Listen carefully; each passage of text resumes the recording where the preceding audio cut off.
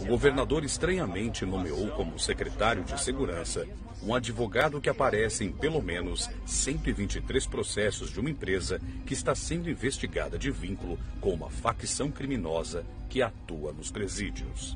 Que ao assumir já começou a levar algumas bordoadas e parece que algumas certeiras e com razão.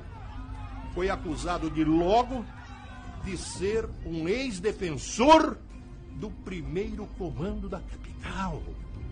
Como advogado do PCC e hoje é o titular da pasta da segurança, isso é incompatível. O governador ficou maluco.